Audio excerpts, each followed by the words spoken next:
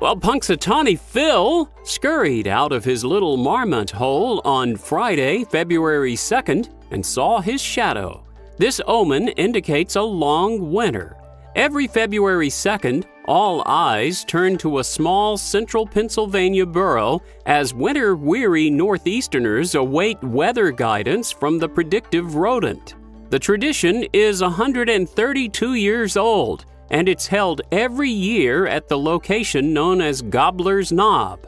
The ceremony is conducted by top hat donning members of the inner circle of the Punxsutawney Groundhog Club.